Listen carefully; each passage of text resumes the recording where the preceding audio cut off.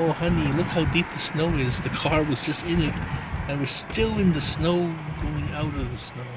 And then there's a bumper from the car that, that, that the man, the that guy, that guy took off the car. But I think the car's still in good shape still. The, the driver can still work tonight, so and pay off the the, the bill for the uh, the tow truck. Oh wow, this is so cool.